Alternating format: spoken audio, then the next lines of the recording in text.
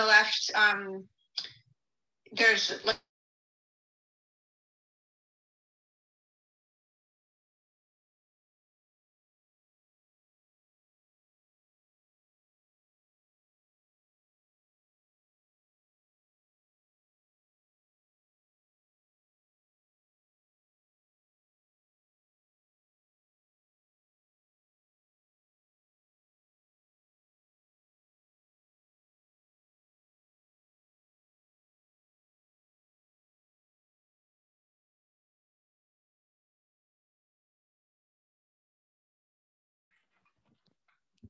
So if that, if, if that, um, cranberry juice is not gonna get drank, just, just talk it. I drank it. Oh, Well, then we have it.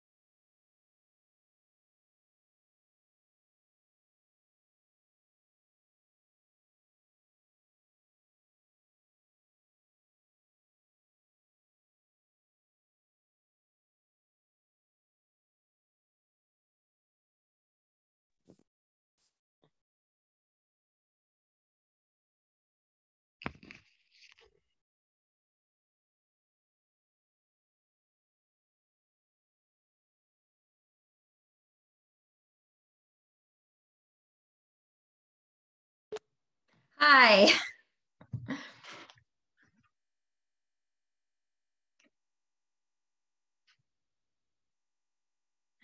I don't know where Sam is. Oh.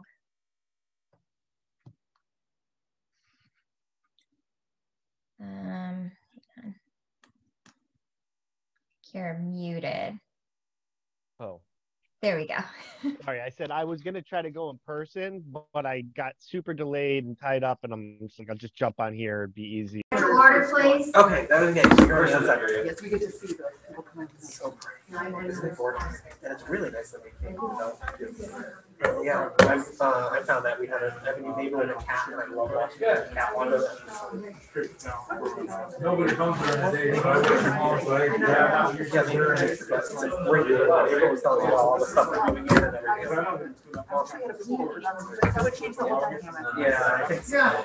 It would change the We whole don't, we dynamic. treated each it's been a while. Somehow, I don't know how, I don't know how it works. I wanted to do something, when I, I would bring up some tennis court crack. I don't play tennis, but I'm like, can it not be cracked? But then they're saying it'd be like two hundred, three hundred thousand dollars. Just got rid of the one for the- Yeah, Stuart, that's too expensive. Stuart gets back. Okay. Thank you. Yeah, I don't think you wanted to. I don't- Good seeing you too. I'll, I'll be back here. I'll be back by myself. You can hang out here if you have it. I think you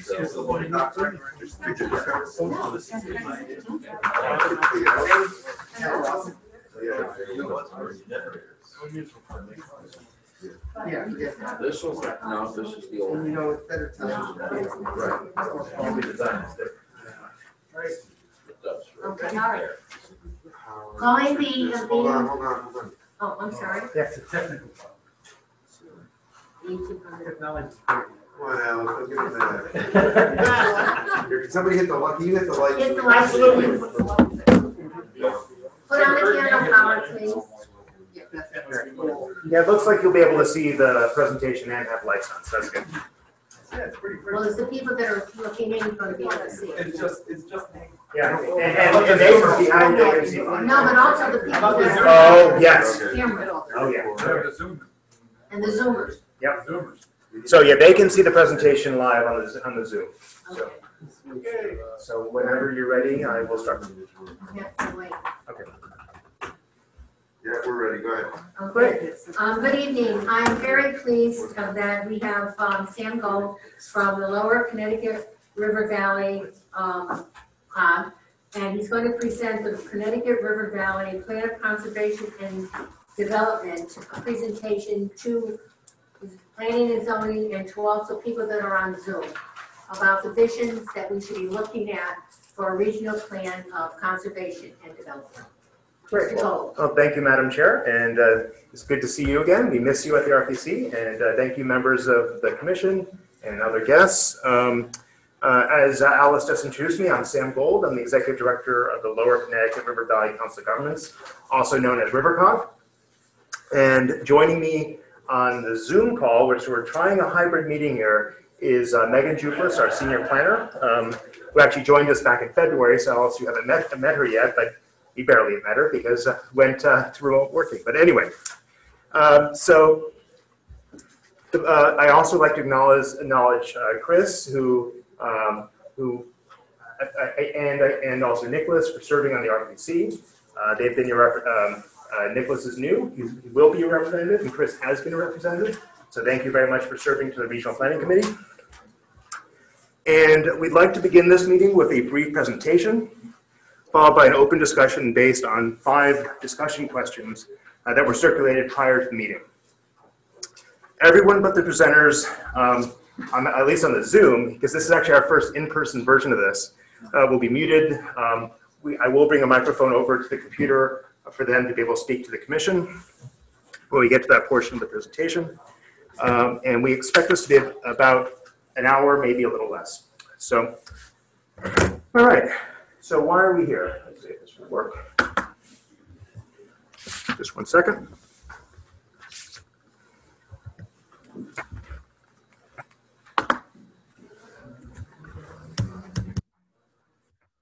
All right, why are we here? Well, um, so as a, as a reminder, RiverCog, the Regional Planning Committee, and our consultant, Fitzgerald and Halliday, are working on the first regional plan of conservation development for the Lower Connecticut River Valley region. On June 29th and July 7th, we held region-wide introductory presentations on this project. Um, if you have, if you didn't attend those introductions, uh, the video of them actually is on our website, which is uh, rivercogregionalplan.org. And we are going to do a brief recap of that presentation to get you up to speed with what we're doing and where we are on the project.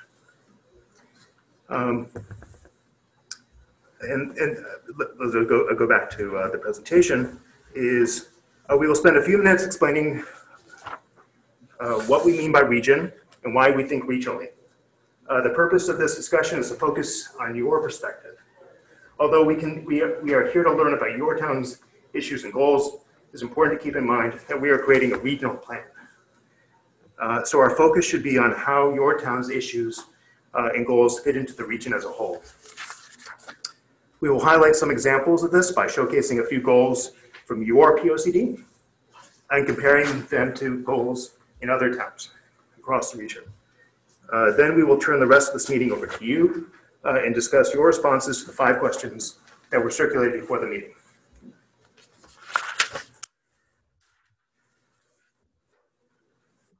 So these are, uh, so at the introductory presentation back in July, we set out to answer a few key questions, which I will briefly recap. Why are we here? Uh, As I mentioned at the onset, uh, we are creating the first regional plan of conservation development for the lower Connecticut River Valley. What is RiverCog? Uh, RiverCog is a regional planning organization for the lower Connecticut River Valley.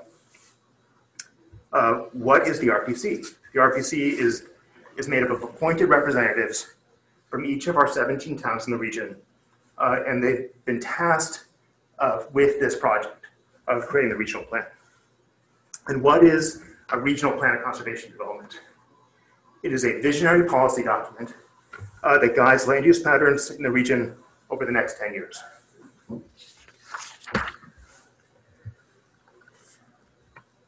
Also at the introductory presentation, we answer the question of why we think regionally. because thinking as a region can help our municipalities solve common problems and achieve common goals. But what do we mean by region? Specifically, we're talking about the lower Connecticut River Valley, which is made up of 17 municipalities. Uh, Chester, Clinton, Cromwell, Deep River, Durham, East Haddam, East Hampton, Essex, Haddam, Killingworth, Lyme, Middlefield, Middletown, Old Lyme, Old Saybrook, Portland, and Westbrook. Each of these municipalities is unique in character, but their geographic proximity means that uh, certain common conditions uh, will exist among them, and that certain issues and goals will necessarily be shared. In addition, many issues and goals will have impact across municipal boundaries. What happens in Cromwell uh, could have an impact that reaches Portland. The unique character of each municipality also means that each town has its own strengths and weaknesses. Our municipalities are interdependent, relying on each other in areas of housing, jobs, infrastructure, and critical public services. As part of the RPOCD, we will be examining these common issues and goals, as well as areas where our towns are interdependent and provide a roadmap for coordination and cooperation. As part of this effort, hearing from you about what matters to your city is critically important. Although this is the first regional plan of conservation development for the lower Connecticut River Valley region, it is important to reiter- reiterate that we're not starting from zero. Our analysis of common issues and goals began with a review of municipal POCDs uh, for all 17 municipalities. After our review, we compared the POCDs and found that they do in fact share a great deal in common.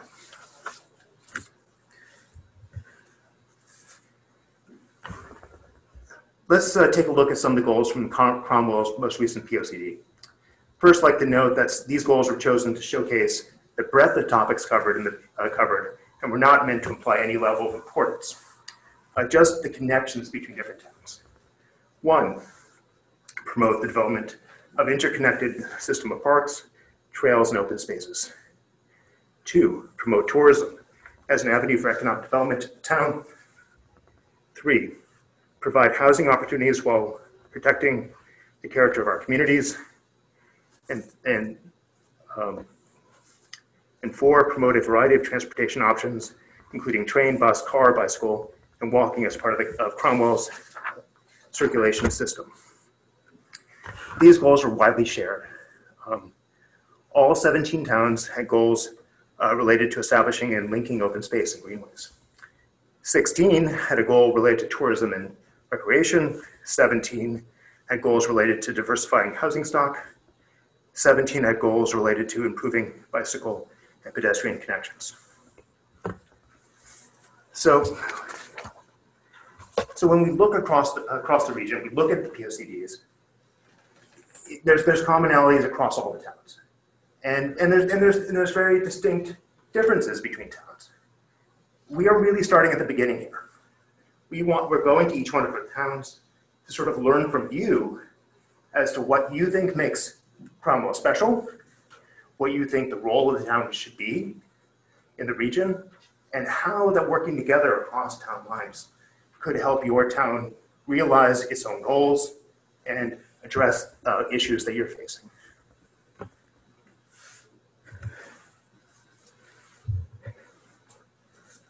So, so we reviewed your plan and all of your neighbors' plans.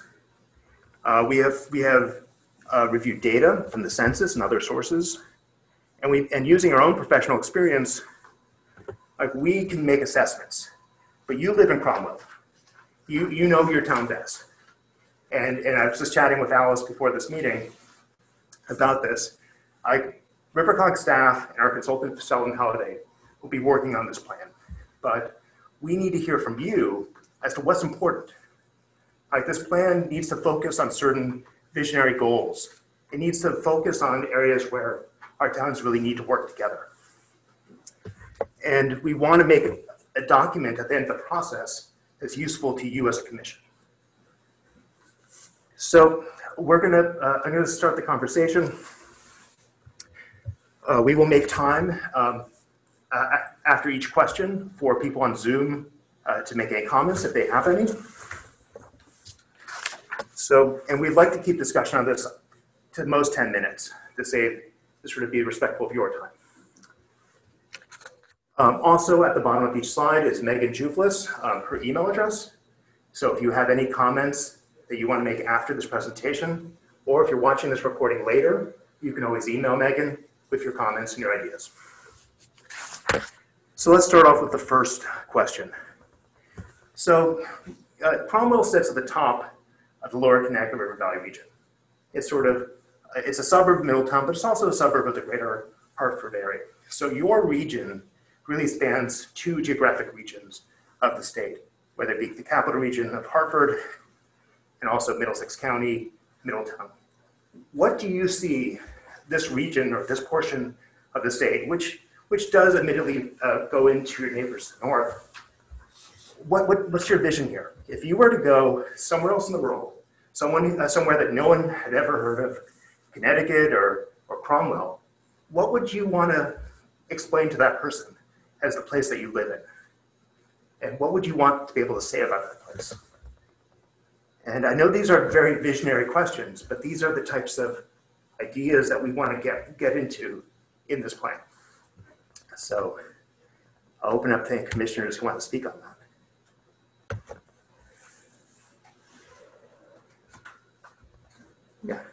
The vision of Cromwell is that Cromwell is central. We are by the state capitol, we're only like twenty-five minutes, depending on traffic, up to Hartford. And then we're about thirty-five minutes or forty minutes to New Haven. So for us, we are between the two, I think, big cosmopolitan centers in Connecticut. New Haven and also to Hartford. So we're kind of uniquely positioned as far as, you know, being attractive to people who want to live in a, a more progressive town, but still kind of have a small type of a town atmosphere. And yet they're not so far away from the cosmopolitan centers. So that's how I would look at, for Cromwell, that we are, you know, we're not like, uh, we're at kind of a small town, but we're not because we're growing. And so we used to be called the rural, you know, after the cows came the people. And so we're no longer the farmland, we're no longer the agricultural um, situation that we were in with Tobacco Valley and things like that. And with a lot of farms and where ShopRite is, that used to be the paddock farm with cows in it. Now we are more, you know, more with the urbanization. All right, uh, someone else? I think one of our greatest assets certainly is we're on the river. So we've been trying to capitalize on that for a lot of years. And we all have great ideas, and Alice and I even had a um, spirited discussion the other day. And um, about how and when it's gonna be developed. You know, we've been talking about it forever. But another great asset, as I'll, I'll call it, is I'll reiterate what Alice said, and that is our, our central location. And um, certainly now because of COVID, life has changed um, in regards to, um, to business in the city. So, so, so people want to move to the suburbs now, they want to, let's say, flee the cities. So now I think it's more important that we're there to attract uh, uh, different businesses or, or, or- or whomever. Thank you. And it seems like you could sort of ex- extrapolate that centrality um, to northern Middlesex County. And that's one of the benefits of this part of the state is that we are in the middle, Uh, uh, uh, in the middle between uh, New Haven and Hartford, but also in the middle between east and west. Boston and New York. Yeah. So, any other ideas of you know your visions for this part of the world, of you know what, the way it is now, or way you'd wanted us to capitalize on this on this place? And we can always come back if you have ideas. And what and over the course of this discussion, we've noticed that people usually come up with ideas later on. So don't worry if we answer the questions out of order. We're taking notes. Uh, we are recording this. And so, uh, so we will have this recording to be able to refer to. So Nicholas. A little bit departing from, from the discussion so far, but from a regional perspective, uh, you know, we may be able to take advantage, uh, us being in the northern part of the region, but as transportation through, through, not just the river, but transportation through the region. Some kind of way of unifying the region in a mobility type of, uh, an environment. Um, maybe looking at, uh, the, the the topology for network connectivity as well unifying the regions where some of the more rural regions don't have the expanse of the internet. I know that's not part of what we do, but the thought of being able to, to, to conduct, you know, regional activities through some type of a network topology is, is something that may be of, of interest. And, um, you know, storm recovery, you know, electrical grid, how do we count on each other from, as neighbors to, something happens to some part of our town, especially the coastal you know, it's, or, or, or a hurricane, or some weather, hundred-year flood hits one area, how can we be regionally working together to help one town, because one day you'll need my help and the other day I'll need yours. So those kind of things would be where I'd like to see some of our vision go as far as connectivity of towns, how we connect, not just, you know, from a physical perspective, but from a technology perspective. Connectivity for the, uh, for internet, connectivity for emergency response, connectivity, Connectivity for connectivity for transportation. transportation network, Getting, transit. yeah, coming up to Cromwell from the shore, from the shore going to Clinton to the wonderful outlets there, you know, those kind of things. That, that, that's, that's a great vision, so. Um, uh, I'm gonna turn over to Megan to see if she has anything online, if anyone in the Zoom meeting has any comments. Not Let's see, just one second. I just need to un- unmute. Just one second. Oh, Here's Megan. There's Megan, but I don't know if we can hear her. Can you hear me? All right, okay, so go ahead. Uh, So Megan, is there any comments online? Um, let's see. Yes, we have. Uh, We cannot hear you. You Let's see, just one second.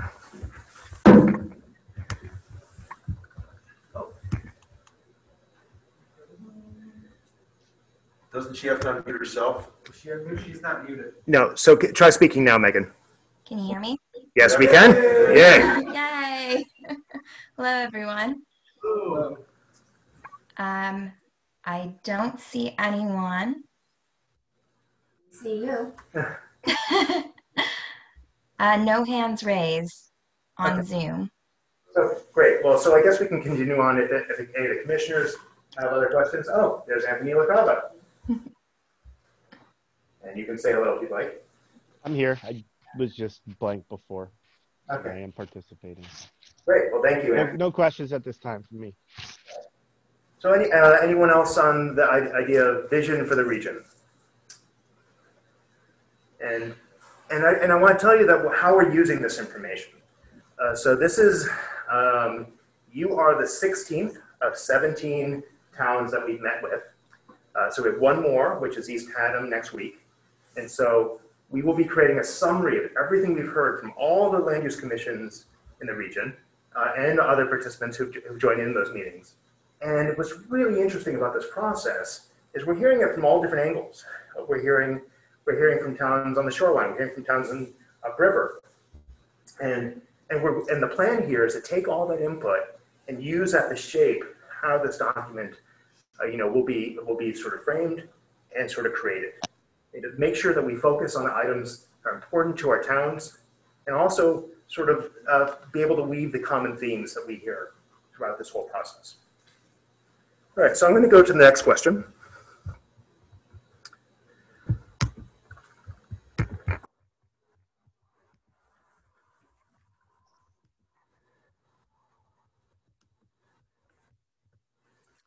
All right, what do you see as Cromwell's role in the region? We talked about centrality, its uh, development as a suburb um, from a rural town, but other other ideas you have for its role. And I, I can I can tell you what I think your role is, and I think you, you probably could tell me a lot too. I want to hear what you have to say. So, what role do you play for your neighboring communities? Can I speak? Yes, of course. So, so Cromwell, thank you very much, thank you. So Cromwell is, is, you know, a, a retail center. You know, Cromwell contains the fifteenth largest shopping center in the state of Connecticut. with the ShopRite Shopping Center. Um, you know, so we're, we're a retail magnet for other towns. People come up Route nine, they get off Route nine, to go to ShopRite, to Stop and Shop, to Lowe's. Um, you know, they also come here to go to our restaurants. Um, they come here for some of our service facilities, our automotive uses, things like that. Um, so we're, we're kind of a retail and a service center for the rest of the region. And as, as the other commission members pointed out earlier, you know, we're, we're at the crossroads. You know, as you pointed out, this part of the region is, is in the middle of the state. And that's what a lot of Cromwell's appeal is of other people. I mean, that's why the Amazon facility came to Cromwell. That's why the Safe Glass people came to Cromwell. They came here a couple of years ago and they said, well, you know, we could be in Cromwell. They're right next to the highway on Sebethe. They can be anywhere in the state in under an hour. So you know, that's why they're in Cromwell. So, so we provide, given our, our geographic location, we provide, you know, as, as it said, you know, a retail, retail center, service center, and we're just like kind of at the crossroads. So that's what we like to say about Cromwell. Cromwell is- is the crossroads of Connecticut. So I, I think we're an asset to the rest of the, the region in that sense. Um, with probably the exception of Middletown and then until you get down to Old Lyme and you're down there, we probably have the largest amount of retail available and the services available Mhm. to people within the region. I don't know how does that sound to everybody else? Great. No, I agree. I agree, I agree. I think Cromwell residents have the ability to, in fifteen minutes or less, be in any one of three cities around us. And yet, we can go out at nine o'clock at night and walk our dog. Mhm. And we have a level of safety in Cromwell that oftentimes is not afforded the residents of the cities that we're able to be in in fifteen minutes and home again. So from a safety and security standpoint, at this point in Cromwell's history, I think we're a pretty safe place to be. I'll also point out that you're home to a lot of people, and this is, uh, and it's a very, uh, and for you know this region, which is, has a lot of small towns, you have a you have a, a one of the higher populations, so you're also home to a lot of people as well. So, Add a comment. uh, go ahead. Um, just one other thing that we have, we have obviously a lot of uh, sports in Connecticut. I mean, in Cromwell, between the TPC, uh, the hockey rink, and other things that we offer. So, not only being um, a hub for for uh, for commercial and um, retail, but also for uh, sporting activities as well. Yeah, thank you. That's a, that's a that's an excellent comment for when it comes to recreation. That is a unique role that Cromwell plays, not only for uh, for our region, but also for the state, for the PGA Tour, who come, who who usually comes here most years. Uh, well, actually, no, it, Every year. it did happen. Yeah, it did happen. Yeah, yeah. Yes. But also, we have um, a big um, state park here too, where a lot of people are down by the river, where they can go walking, and it's called the Highland State Park. And, um, but also, for the Mattabasset, there are also walking trails on the Mattabesset River that, you know, is going to be, I think, in the future, more will be done with those trails, because that's all open space. That's great. Yeah, that recreation comment is really good. Thank you, thank you, Anthony. So, uh, I don't know if there's any other comments on, you know, the role of Cromwell in the larger region. All right, if not, I will move on. What are the challenges your town is facing that would be easier to address working regionally or if you're neighboring towns? You know, Cromwell already works regionally on many things. Um, you know, you got the Mattabasset district. You have uh, you have your, you're an active member of the COG. You uh, participate in mutual aid agreements with your neighbors. Um, but what are what, what are some things that you see as um, you know challenges that you're facing? You know that you know obviously you have to address individually because that's that's the level of government that we're dealing with. But would be best if if you if your neighbors were cooperating with you. And we, and we understand these are big picture questions.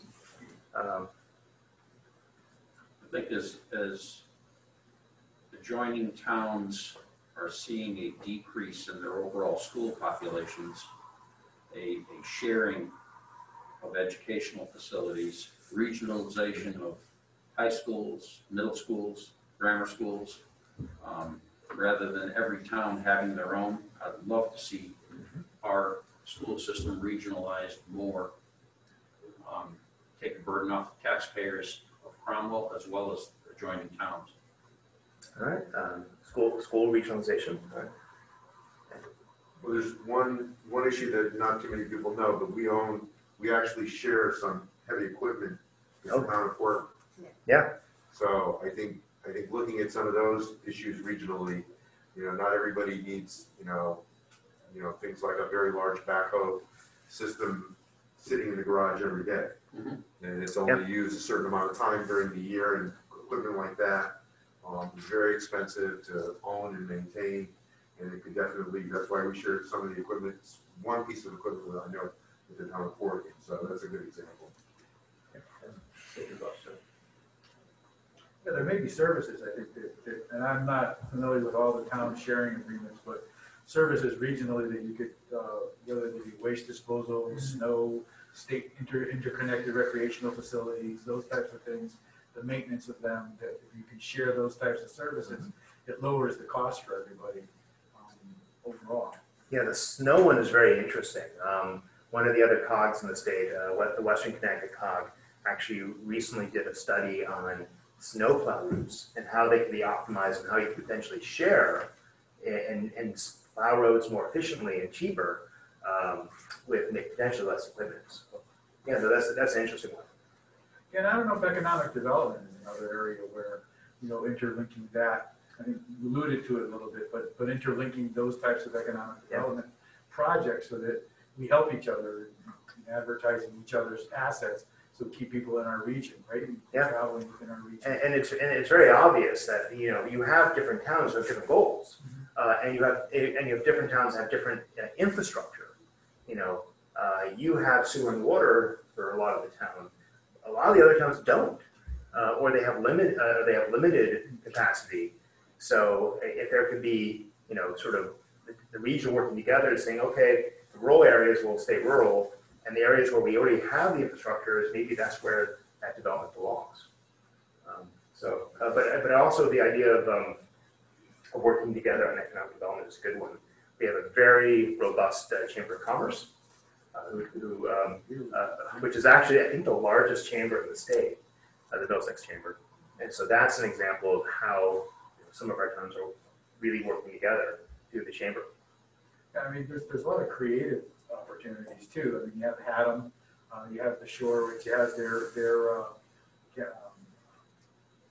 their theater down. Uh, the cage in, Yeah. yeah, So, so there's a lot of, of that artistic stuff that, that's available. They go down to Mystic, they have the Mystic, um, the Seaport, but also they have their own community theaters. It's a community theater network that could be interrelated as well, as part of an opportunity. okay, go ahead. Can I make a comment? Oh, sure. Um, so, oh, yeah. Hi, um, thank you for letting me participate. Is it okay, Alice, if I say something? Okay, so why don't you come around so we can see you? Um. A couple, a couple thoughts I had. sitting in the Sit on a chair or something. Um, a couple of the thoughts that I had, um, so one challenge that I think we're, we're facing is I noticed in the last town council budget cycle, our tipping fees continue to go up as we're having a huge trash disposal, recycling problem, and if we can come up with a regional approach to, uh, reuse, reduce, reuse, reduce and recycle, uh, and, and try to find a more efficient way of getting rid of our waste, I think that's gonna be a huge problem in the next, next decade, uh, that hasn't come to roost yet, but it's going to, so that's one thing that I think is a huge challenge. Um, and then as far as, um, uh, to my dad's point, you know, that, that, that is my father, so I, I take some ownership for him where he gets to take some ownership. I don't know which way it goes. It's the other way around, Um, sure that I. You know, I, I'm very, uh, I'm an avid museum goer and an avid arts, uh, I can't paint or do anything, or can't do any type of art to save my life, but I like creative people and I enjoy them. But you have the Goodspeed Opera House, you have Old Saybrook's Art Collective, you have the Old Lyme, um, two art museums in Old Lyme that are both beautiful, you have the Connecticut River Museum, um, Griswold. the Griswold Museum, you have a, a network of uh, institutions that are very unique. And, you know, I always hear people talk about the Hudson River Valley as this really great area. I think the Connecticut River Valley can be uh, that kind of great idea. I know it doesn't go to the challenges, but I was just No, thinking about That's that. great. But I, I do think though, James, that that does, because I think that if the towns work together on the arts thing and really promoted the different museums out to a lot of people, like what the Hudson Valley does, Yep. that that's how you would have people that would know about these things, because if you live in a town, you know about it, but if you don't live in a town, you really don't know about all of these little museums and things like this, these little theater companies that offer a lot of productions, because, well, you know, you used to be able to go, And, but you know- you will be able to go eventually. And I'll point out the obvious, and maybe this is more in the role, is that you actually have the capacity for, for housing uh, tourists in, in hotels. Like, we don't have uh, many large hotels in this region. Uh, Cromwell has that capacity. Uh, and so that's something which, um, uh, you know, you- you- there, you don't, and there's reasons why you don't have a large hotel in Haddam, it's because they don't have sewer. You know, that, the hotels, um, hotels are difficult to, uh, to sort of accommodate without that infrastructure, so. But I think that, I think that if towns got together and looked at and just said it's okay if we're going to have like a, some type of an artist come in and all, and then really broadcast it so that even if, as you said, they didn't have a place that somebody could stay, but Cromwell isn't that far away. No, it isn't. And, you know, so, but working together in some type of a unified, you know, extravaganza. Yeah. And one area where a challenge that I, I am happy to report is, um, that we're very involved in is with your, uh, with the transit district, Middletown Area Transit, which uh, Cromwell receives service, uh, from. Uh, that is something which, you know, the individual towns really, you know, need to work together to provide public transportation. That's not something that can really work efficiently on individual towns providing so. But even on that point though, because I know, I see that little bus come around. Yep. But I don't know how many people in Cromwell know about this bus, mhm. know about what services, where you can get it, how often you can get it, because it's really not, you know, maybe we have to put it in And- newspapers or something, just to say is that, did you know that you can get bus service from Cromwell to Middletown? And, um, you know, And I think that, and that will speak to our next question, which is one of the things where we can, areas where we can do better. So I'm gonna chalk that up to area that we can do better on. No, no, no, don't worry about that, that's great. Uh, but before we leave this question, is anyone out on the Zoom wanna make any more comments? If not, we'll move to number four. All right, we can always go back.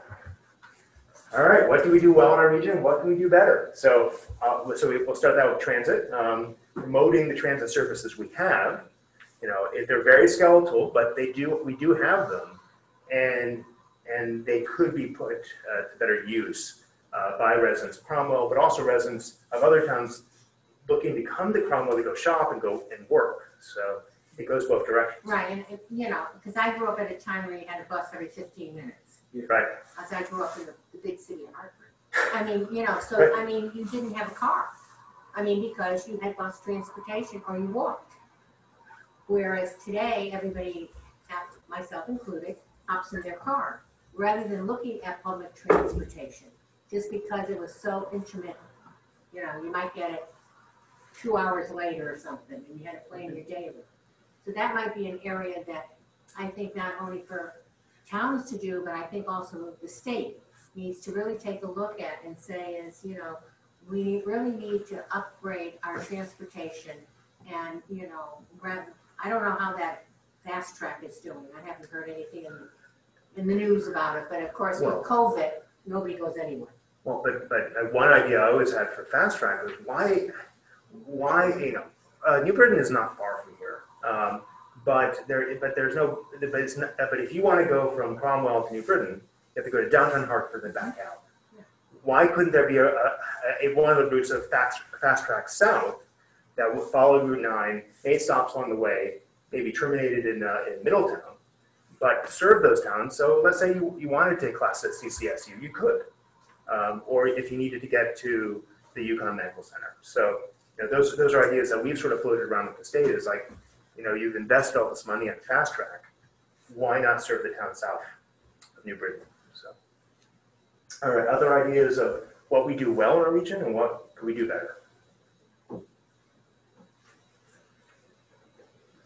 I, I, I will bring back the issue of, uh, internet connectivity uh, in our networks. Um, You know, our topography here is not very conducive to cellular service. Um, We have a number of areas where you cannot get cellular service, and that is not acceptable in today's business climate. If you don't have uh, a cellular connection, you might as well, you, you're not, you're nowhere. So that, that's an area which uh, has become very clear as a deficit that we need to deal with. And the same thing with high-speed internet access. Um, Comcast and Frontier have not uh, performed all that well in the last storm, along with CLP or Eversource. So So does that, does that, does having a regional approach to that give us more opportunity to improve all those things? Well, that's what we're trying. Um, uh, we are lucky in our region that the first selectman of Essex is also a state senator, is on that, uh, is, is on that committee in the General Assembly, so he's taken on uh, the issues regarding uh, Eversource and the lack of preparation for the storms. Um, but one item I'll, I'll bring up to you that has been identified is, is we're dealing with a major die-off of trees, uh, from invasive species.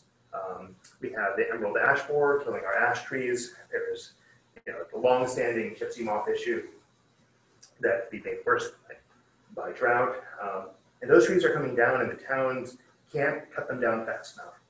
Uh, and when a big storm comes by, things, uh, trees come down, knock out car lines, knock out cars. Unfortunately, also land on people occasionally. Um, and that's something I think that's going to be best addressed regionally as something that we can do better. Whether it be getting equipment to deal with that issue, whether it be uh, training of our public works to be able to deal uh, with how you remove trees around electrical infrastructure. Um, Will Eversource train uh, public works to be able to do that work or do more work? Um, Those are all areas where I think we could probably address. Well, I have to comment on that, Sure. because I did work for Eversource. Yeah. And let me tell you, you go to cut somebody's tree down, and they are out with their hair on fire. So you can't always blame Eversource. Right. Because they would come around, you do not touch my tree, even though it was this gigantic thing with broken branches and all. Until finally they had, they just went out and they started cutting them down, and people had their hair on fire. That these beautiful trees, that, you know, now it looks like as if the place is naked. But that is another thing that people really and truly need to be educated as far as when trees need to say goodbye and And, burning your fireplace. and that person's, uh, you know, hair on fire issues affect everyone else on that street and on That's that- and on that circuit. Mhm. So, Are we able to, um, get more services underground, like with, uh, wire and stuff like that? I mean, do we as a Cromwell have more of an infrastructure? You probably can't do that in Essex or in Saturn where it's um, much more rural, but I, I assume in your subdivision regulations, you do have that, Right, correct? Yes. Yes, like, correct. like I know Cromwell Hills and some of the condo complexes, they're able, they're able to do that differently and, um, right, be- simply because Yeah. that they had the developer and they picked Yeah. all that up. But again, because we are in, we used to have these terrible winters. And what a lot of people don't understand is that it sounds good that you put everything underground. Yeah, I'm just Now, going, I if a know. wire goes on fire underground in the middle of two above zero, Yeah, now it's a big problem. For, because you gotta get a jackhammer out, okay, and so it isn't the same thing. Like when you're down in Florida, you don't have to worry about sub-zero weather. I'm not, I mean, I, and I know in Europe, even in the coldest regions, they do it. But before that, we, you know, they didn't put it underground. And also, when you put it underground, you gotta get rid of the trees with their roots. okay. And it's expensive. Very expensive. And, and that's the main reason, like, uh, we're an old state. Uh, Most of our, you know, housing was built, you know, um, you know, pre-war, pre-World War II, so. you know, the bu- Seventeen hundred, Yeah. eighteen hundred. And so, um, yeah, so retrofitting to put, put wires underground is a, is a difficult and expensive thing. It's not impossible, um, it, it, it can be done. It's just something which, uh, you know, new places are under. that Eversource is not gonna pick that up and make the ratepayers pay for it. So, it- but it is, but it is an issue, but the issues of trees is a regional issue. What, where do you dispose of that waste? How do you get rid of them? How do you get the crews to be able to deal with these issues before the storm to try to protect people's property, people's lives, and Now you get the people to agree. yep, that's the other issue. Do we have emergency services agreements with different towns to help each Yes. other? Uh, y- Yes, we do. Um, So Cromwell uh, participates with um, Middlesex Hospital with their paramedic service. So That's a shared regional service. Uh, We do, there is shared communication infrastructure between uh, uh, the various emergency services as well. Um, Cromwell is, has its own 911 PSAP. So that is something which uh, Cromwell is, is is independent on, but it's something the state is very interested in. Um, your town manager has very, uh, very strong opinions on what the state wants to do, and I, I, I, have some in- in- opinions as well. But but that's one, that's something that they're sort of pushing on everyone who's still independent. But, um, any, any other ideas of things that, you know, we think we do well together and things that we could do better on? Do you monopolize? Hmm. How do you, how do you expect cooperation from Eversource Yeah. when they're the only show in town? How do you expect cooperation from Comcast Comcast. when they're the only show in town? Yeah. How do you expect cooperation from Frontier when they're the only show in town? I mean, you know, we did it to ourselves. Yeah, and it shows. But we allowed it to happen. And, Let's put it that and way. what, and what I'll say about what we can do better and what we can do, uh, what we can do well is, I think after the storms at the beginning of the last decade, you know, Superstorm Sandy and Irene and, and those storms in the beginning of the, of the teens, um, we learned a lot from those and, and Eversource and CL&P made major improvements on how they do storm response. It seems like there's been a turnover in institutional knowledge at Eversource, maybe as part of the merger, um, but the storms were, um, you know, it, it didn't play out as well, this, uh, this, the tropical storm from last month, Right, so. The problem is, if you really want to get down to the nuts and bolts of it is, it's all shareholders. Mm. It is the, it is how much money can we make for the shareholders? That isn't how it used to be. When I worked at Northeast Utilities, it was not the shareholders was the utmost thing. They, it was the customer service. And that's how you had, you had your crews there and all. And then when the merger came through with, um, from Boston area, NSTAR. Energy Star. And that changed the whole thing, because now what it is, is that they got, they outsourced everybody. They went to the India, they went to Texas and things like this. So it's really our regulatory people that really and truly has now made our utility what it is today, and it is just, it's not like it used to be. I mean, it, they, they brought it down to be a skeleton crew. If you take a look out and you see them at the wires, you don't see Eversource. You see some of Asplundh. They used to only just cut trees. Now they're putting up wire. They change it both, yeah. Right, And, so, and look at the license plates. Yeah. yes. But I'm just saying is so that our, our um, regulators did not do service to Connecticut. Yeah. When they allowed the merger to come through and the way that it came through. Yeah. Have we looked at, uh, you know, like Wallingford has their own power? Yeah. Have we looked at, at at consolidated power, power? So I, I got this question a number of times in the like, and they asked like, well, how did uh, Norwich and how did Wallingford get their own power plants? Well, they always, they always had their own power plants. And so because they always had, they do, the, the, the idea of having municipalities buy out Eversource and run their own electric company, I, I don't think you could bond enough to be able to do that, quite honestly. And then you would probably still have to contract with a company like that uh, in order to run the, uh, run, run the electric company. So, but these ideas have come up because of this issue, so. Can I ask a question? Sure. Um, maybe something to consider when, you know, what we can do better is, is using regional buying power when we're negotiating with a Comcast or an Eversource or any regional service. Um, now, that could be difficult because sometimes it's hard to make all the clocks chime at the same time, but I do think with certain things, maybe having a regional approach to it, whether it's waste management or power or utilities or cable or internet, uh, you know, it grows our buying power and our buying share, especially given the, the, the fact that a lot of the municipalities in the COG are, are more rural in nature. I, I don't get it though. If, if Eversource is the only one supplying power, or I should say, the only one that has the distribution network, who are you gonna buy from? Yeah, so you can buy from a supplier. The suppliers are That's different. independent. That's different. We can all buy from suppliers, but we cannot change our distribution issue, and the distribution issue was what everybody just got hammered on. And it's the majority of our bills. Correct, and that's my point, so, Yeah. so. Yeah. Get fifty towns together, it doesn't matter, Eversource owns the poles and the wires, and they control the distribution show. Yeah. That's my point, you, you need- need to demonopolize Eversource, Comcast, Frontier, et cetera, and I don't know how you can do that, I don't care if you get a hundred towns together. And I think this is gonna be the topic of the special session that's coming up in a, in a week or two at the General Assembly, so, um, yeah. But I would also, add- you know, just say it's okay, so you demobilize the people or monopolize. Okay, so what happens? So you, you become a company, I become a company, and you become a company. So he can buy it from you, he can buy it from me, then he gets mad at you when he comes to me. I mean, I'm just saying is that, you know, when you were talking about electricity, it's very different. Because for the grids and things like this, then who's gonna take care of it? And that was the big talk about, who is going to come out when you were buying from a different supplier and take care if something happened to your electricity coming through.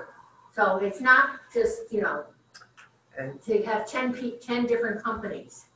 You have to have ten different companies being fully equipped. Right now, the technology doesn't allow it, I agree.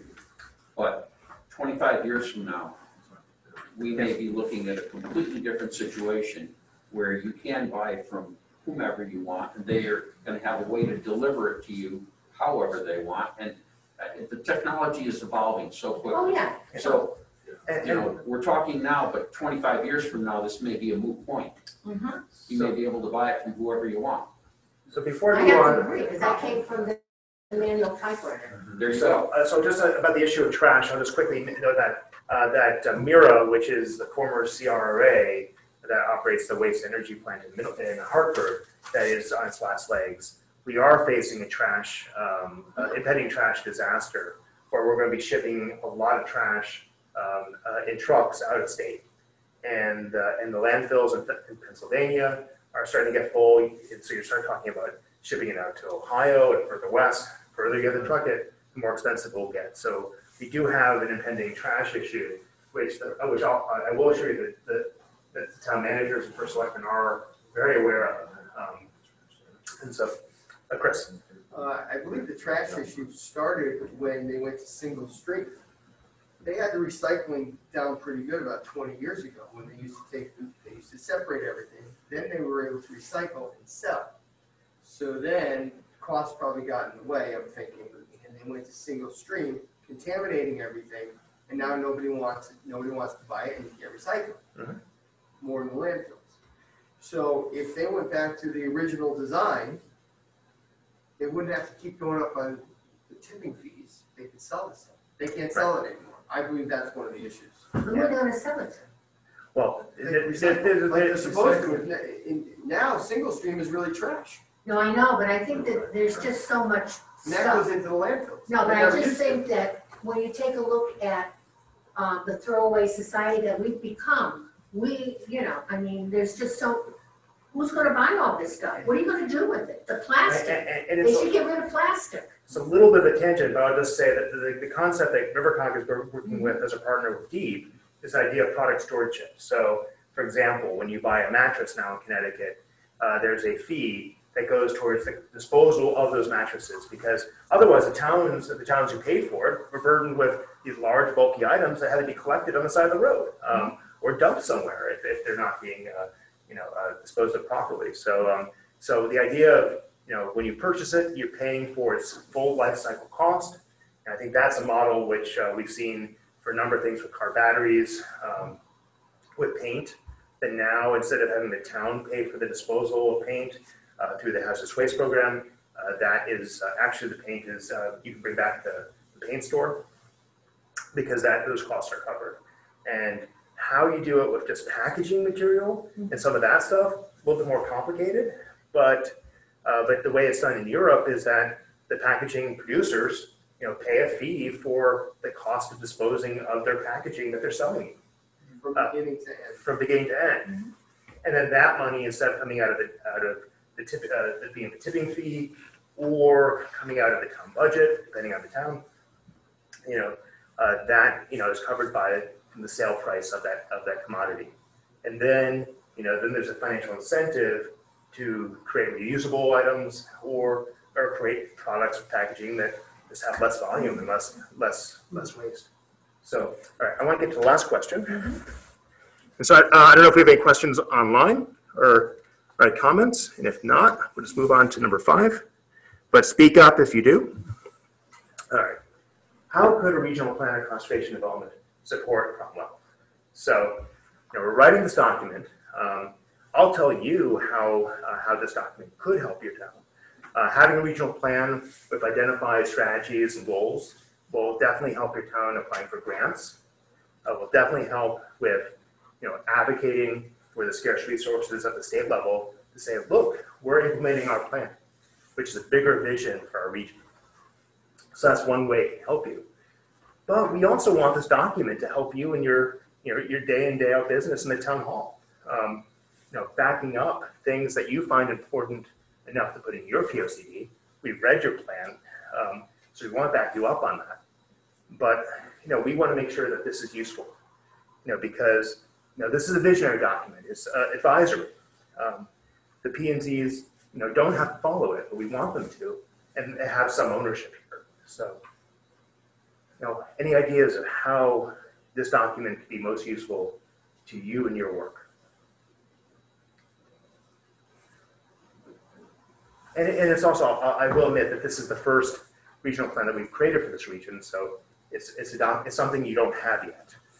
I think that probably the way that it would do well is because it's regional, so that instead of getting the plan from Durham, the plan from Cromwell, the plan from Essex and things like this, you have something that has incorporated many of the ideas, many of the um, things that each town can do, would hope to do, into one document. So then you can kind of see how close you are to having the same type of uh, interests, the same type of concerns, or how you're going to package your town so that, you know, people from Essex will want to come to Cromwell, people from Cromwell will want to go, I'm just using Essex. Yes. Just because they could read about, in here, this is all, you know, the things that are offered there. So I think that maybe that, in that way, it's more of a document talking about Middlesex County from the top to the bottom. Yep. And just then having a place that you can go and kind of look through it, because everybody has their own plan. Mhm. And at least in this way, you probably take the most important things out of each area and put them into the regional plan and have like an overall uh, view of what is called the Middlesex County or the River Valley. Yeah. And shared, shared goals and objectives Yeah, is, is what, you know, I think Alice is alluding to, and how those could help the towns. Like, for example, uh, tying together different, uh, um, different riverfront type activities, how we could link those together, where you can go from town to town to town and have different things to do in each town through the river, right? And, and establishing riverfronts or shared goals, and how those conservation goals or open space goals can be shared through town, so that we're all kind of doing things the same way, and maybe be able to share ideas, thoughts, and resources on how we do those things. So, yeah, like one, one thing which like ties almost all the towns together is the Connecticut River, which is, uh, which is the biggest river in New England. It is the, probably, it's the, it's the defining natural resource of the state. The state's named after it. Uh, and, uh, and so, yeah, I think that's a big one. And uh, one thing that we, um, uh, have been working on for a very long time is uh, some of the invasive species. We have a couple of plants um, uh, that uh, invasive chestnut, water chestnut, hydrilla, that really a, a single town can't address in the river because you know a cutting floats down from from another town, plants itself one of along your your river banks. It, it doesn't help if you rip it all out. You all have to work on it together. So that's something that uh, we're already working on, but I think it's a big thing, which you know, keeping the river healthy and beautiful and an asset to all the towns. And, uh, and also, um, um, I'll point out that one of the, one of the important elements of the regional plan will be a future land use map. Uh, it will not be as detailed as the map you have in your POCD because it's not a POCD land use map, but it will identify those areas where we- recommend conservation in the areas, we recommend development. And I can tell you that Cromwell, because of its location on Route 9, on I-91, because of its infrastructure that you have in town, this is an area where we would like to encourage development because you have infrastructure here. Um, Not the whole town, you know, there's areas that need to be conserved and preserved here. But it makes more sense from a fiscal perspective, but also from a orderly development of the region perspective. You know, in some places, you, you're, not- it's gonna be more suited for, you know, agriculture or conservation. So that regional zoning map, we would like to have the final say in what you use from our town. Correct. If I'm not speaking out of turn, because I remember seeing that map five years ago with certain color. Oh, the, oh, the state plan, yes, the Yes. state plan map, yes. um, Where they want certain development and, um, it could be, uh, residential, which is in a commercial district Mhm. and vice versa. So, you know, this, that was developed five years ago or so, may not work here. Yeah, so, so it will So not be we as a. would like yeah. to say, well, this, we'd like to have a final say. So, so, so first of all, the map will not be a zoning map. We won't recommend land uses, so it won't say residential or commercial. But it will recommend areas where, that support development and areas that were probably more supportive of conservation. Doesn't mean that conservation can't happen in a development area or, or development can't happen in a conservation area. Um, because you'll have both. But, uh, these, this is a general sort of, uh, larger, uh, larger vision, where the blobs are bigger they're less defined because we, we- can't tell the town how to zone it, how to zone itself. That power rests in the commission. Um, and when it comes to, you know, the draft, uh, future land use map for the selectmen, we want, we want the representatives from Cromwell to be bringing it back to this commission, getting your comments, and making sure that what we put out there is in sync with what, what you believe your vision of Cromwell is. So, Thank you. um, but, uh, but will, but will they be an exact match? Maybe not, but we want them to be Maybe some supportive. Spill over in different areas. Mm-hmm. But we want, we want whatever we present to support what's important to our member towns. Yep. Any other ideas of how regional plan could be, could uh, support promo? And if not, I'll wrap it up. All right, any comments from, from, from the Zoom? Uh, you can speak up if you, if you want, otherwise we'll, I'll wrap it up. Thank you, Sam. You're Thank welcome. you very much, Thank you Sam. very much. All right, so uh, just to wrap it up, I have a little bit more just to tell you of the process. Just one second. All right, thank you for your participation in this discussion.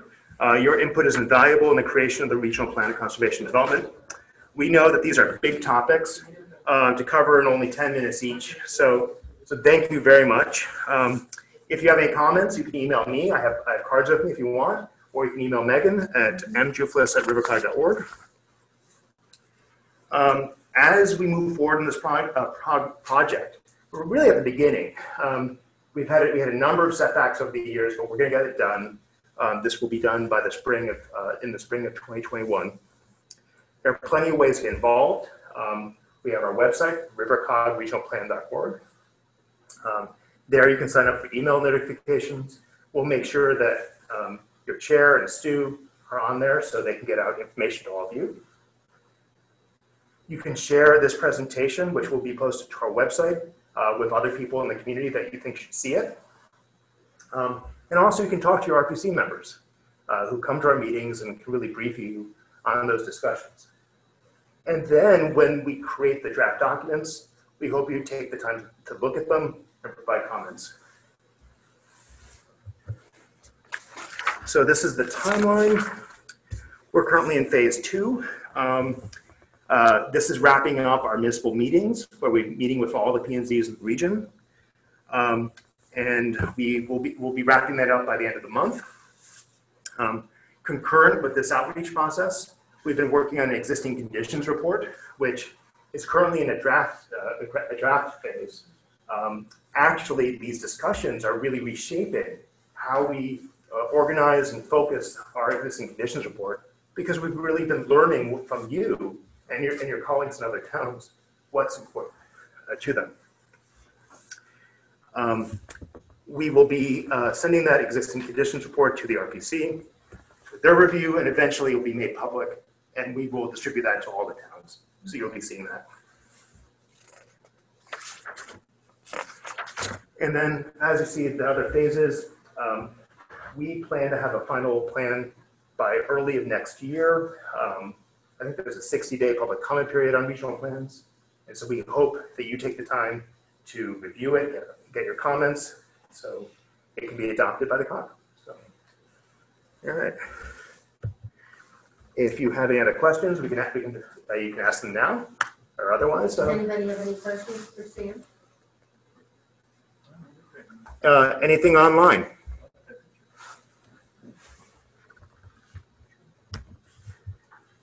All right.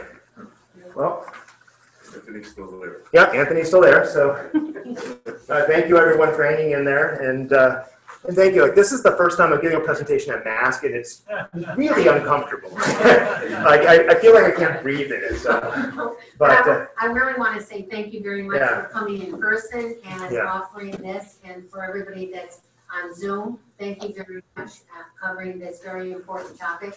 And so good luck with your uh, draft, with your final and things like this. And uh, I know that Nicholas now, uh, Yep. Commissioner DeCius, will be a great asset to, along with Anthony, Yeah. um, to the COG. Thank you very much, and, uh, and, uh, and whatever we can do to facilitate Nicholas keeping you informed and Stu, and keeping Stu informed so he can report back to you. Um, uh, as part of this project, if we can come back to you at a later point of this project, we will, but in all likelihood, I don't know if, it- uh, it's a great effort to go to seventeen planning and zoning commissions. Um, it's a lot of work, um, actually, to be honest. COVID, co- COVID helped us do that because attending a Zoom meeting is a little bit Yes, easier, but, but thank you very much. Thank Thank you you very very much. much. Thank you. Thank you.